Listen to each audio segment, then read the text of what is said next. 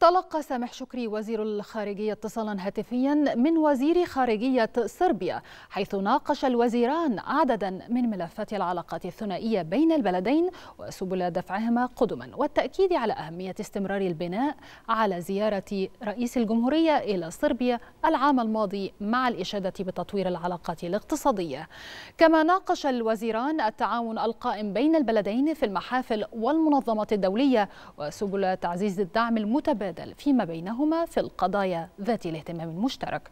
وأضاف المتحدث الرسمي باسم وزارة الخارجية بأنه تم الاتفاق في نهاية الاتصال على مواصلة وتيرة التنسيق والزيارات المتبادلة خلال المرحلة القادمة.